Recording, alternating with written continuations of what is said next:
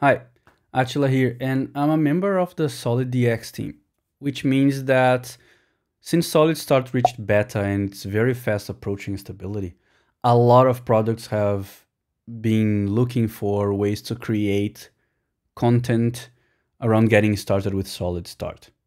Start, start, start.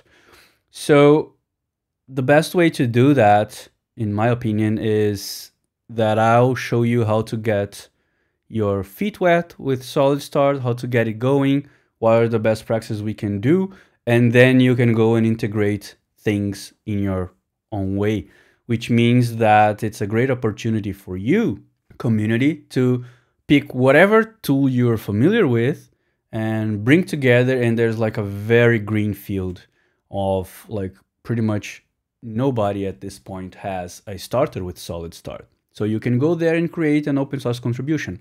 And i'll show you now how to get started with solid start. Once that is done stick around. I'll give you a tip on how to compound this open source contribution into more.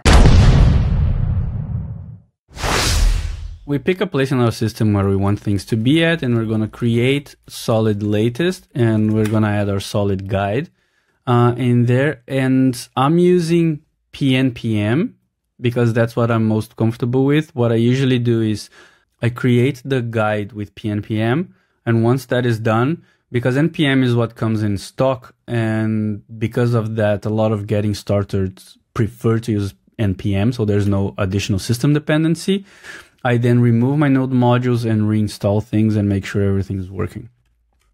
So I'm gonna pick basic. So it comes with uh, with solid start. And now we can change directory into our solid guide. Install all our dependencies.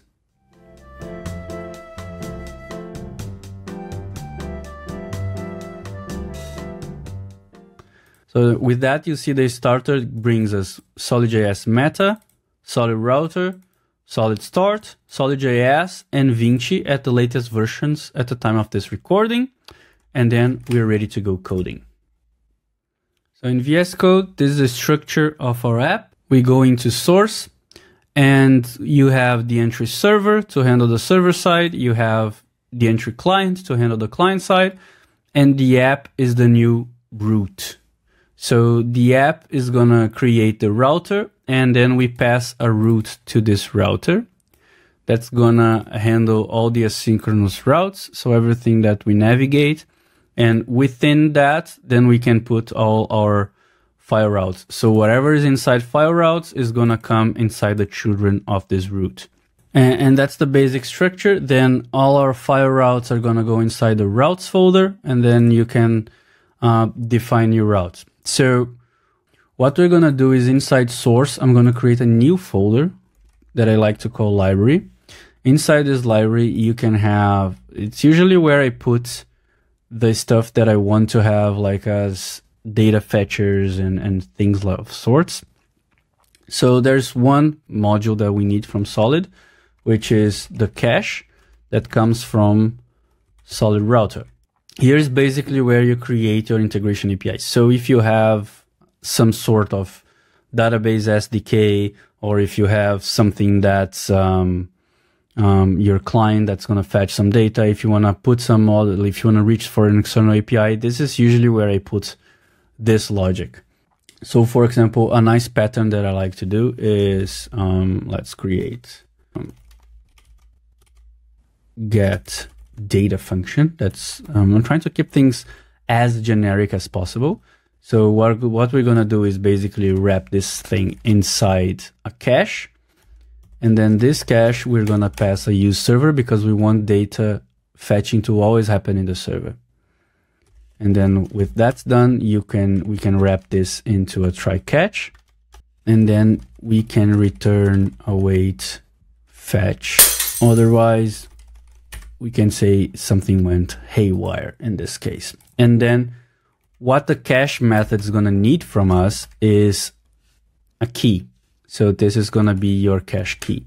In this case, Solid starts going to know how to store your cache and this kind of stuff. So every time you get data from that get data it's going to store on this particular cache key. And if there's an error, we're going to catch and we're going to return null in this case. And that's how we're going to handle our errors in this particular scenario.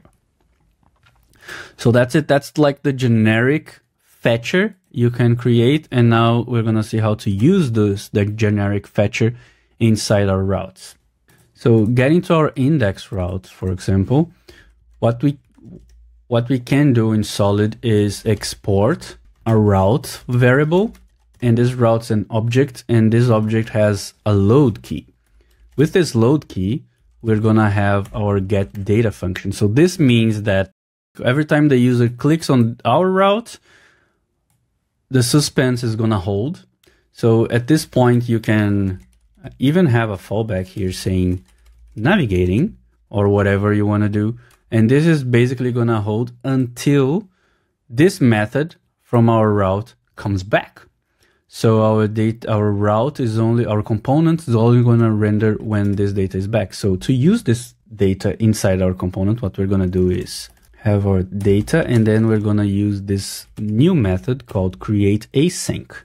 And this create async is going to receive our data. So essentially this is going to be receiving the response from our load. Once this is done, I can then use combine with that suspense that's holding my entire route until the data arrives. I can then put something here, for example, and I can use the show component to make sure that I'm only going to show this whenever my data is available. And then I'll have the data as the fallback. And then I can say, yeah, I have the data. Oof. And um, yeah, so TypeScript's complaining because what I did here is I went too simplistic on my DB. So in here, I don't want to return this because this is actually the response of my native fetcher. So I'm gonna return the response parsed as JSON and now my types are fine. So this is the bare minimum basics that you can do. So remember that in our data back here, we are catching an error and returning null.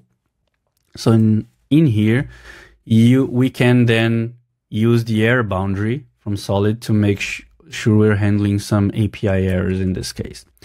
So what we're going to do is create a new effect.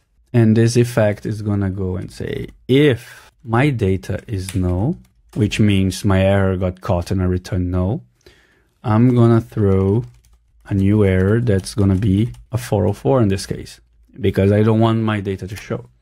So with this, I can come back to my app and I can wrap my entire thing into an error boundary. And look at this again. I'm putting my error boundary inside the root. And now what I'm going to do is I'm going to create this fallback and then I'm going to receive my error and I'm going to pass it down to my error component that I have not created yet. So now inside components, let's create a new error. So now I'm creating this new error and this new error is going to receive my props and the props in this case are going to be an error and right here I'm just going to pick 404 as a string and so I'm going to render whatever is inside and then oops it went wrong and then solid start has this component called HTTP status code that's coming from solid start. And what I'm gonna do is I'm gonna pass as a number my props code. That's it. So now back into here, I have my error component. I just need to import it. So this is the bare minimum. I have a repository down below in the first comment that I have pushed this with actual call to an actual API. So you can see it at work. But these are the bare minimum that you need to do to get your stuff started and create integrations with others. So you have error handling, you have a synchronous data function, you have preloading data on your routes, all from this uh, little template, and then you can just go on and toss whatever integration you have inside. So now you got all the code right to get your integration going, but maybe you want your template or your example or your getting started app to pop a little bit more. And so I'm gonna give you four, not one, four different alternatives for component libraries that you can use as a drop-in replacement. They work with whatever styling choice you have. If you would do Tailwind, Uno CSS, Panda CSS, Vanilla CSS, Sass, whatever, um, you can bring in your own styles because they're pretty much unstyled. Uh, some are more opinionated than others, but you can go on. The first one is our top of mind because it's been around for longer. It's called Kobalte. Kobalte started in a solid hack for a port to Radix UI, which is a famous headless component library for React. And since then it has grew beyond this initial plan. And so that's your first alternative if you want to use drop-in components. Moving on to our second one is Corvu, which is a brand new component library in the same style as Kobalte, but made by another member of our solid community. So check it out. It's in still in its early stages, but from what I've seen, it's an amazing library. And again, another very green field for you if you want to get your open source contributions up. On the third one is ArkUI, which has its own integration called ParkUI that you can use. Uh, it supports multiple frameworks, Solid being one of them, and you can use um, all of those components in your app. And then the fourth one is a port to the famous ShadCN UI, which is a library for React. Uh, and what we have is Solid UI, which uh, are made by our community members, and they have, as far as I know, all the components that ShadCN UI do. And they have pretty much the same kind of integration story. So go ahead, check it out. You can use them. All of these four alternatives are great. I've tested a lot of those components in different side projects and apps that I've been creating, and they all work pretty, pretty well. And then I promised I'd give you a tip how to compound this one open source contribution. So you create your template, you write a document so you have content and you have your open source project in your own name. And now there's another way for you to even get contributing to Solid through that contribution. So the Solid website has a resources page. And then you can go on, open a pull request, and it's gonna get merged in our resources, which means your library, your template, your project is now discoverable on this one-stop shop for everybody in the Solid community. And so that's it. I hope you, it helps you get started. If you do something, please let me know in the comments. I'm planning to do a highlight of all the things uh, we have going with Solid Start in the next month or so. If you happen to have a nice guest author program, let me know in the comments below and I'm, I'll be sure to amplify it and hopefully we get more people getting started creating content and doing nice things on the web. So that's it for me. Uh, the algorithm thinks you should be watching something else next. And yeah, see you later. Bye.